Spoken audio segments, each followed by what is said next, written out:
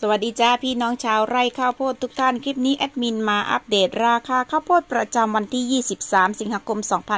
2566 กับคุณข้อมูลจากกรมการค้าภายในอีกหนึ่งครั้งที่แอดมินหยิบข่าวสารเรื่องราคาข้าวโพดเลี้ยงสัตว์มาฝากพี่พี่น้องๆชาวไร่ข้าวโพดทุกท่านได้รับทราบ ไปรับชมรับฟังกันเลยค่ะ ข้าวโพดเลี้ยงสัตว์จังหวัดเพชรบูรณ์ผู้ค้าท้องถิ่น ข้าวโพดเมล็ดความชื้นไม่เกิน 30%ราคาอยู่ที่ 8 บาท 30 สตางค์ต่อกิโลกรัม ถึง 8 บาท 50 สตางค์ต่อกิโลกรัม ถัดมาเรามาเช็คกันต่อกับข้าวโพดเมล็ดความชื้นไม่เกิน 14.5%ราคาอยู่ที่ 11 บาทต่อกิโลกรัม ถึง 11 บาท 20 สตางค์ต่อกิโลกรัม ราคาโรงงานอาหารสัตว์ความชื้นไม่เกิน 14.5%ราคาอยู่ที่ 11 บาท 90 สตางค์ต่อกิโลกรัม ถึง 11 บาท 95 สตางค์ต่อกิโลกรัมค่ะ โชคดีร่ำรวยทุกท่านนะคะสำหรับพี่ๆน้องๆชาวไร่ข้าวโพดของท่าน ราคาเป็นอย่างไรคอมเมนต์พูดคุยแจ้งข่าวกันได้ คลิปนี้แอดมินขอตัวลาไปแล้วเจอกันใหม่คลิปหน้า สวัสดีค่ะ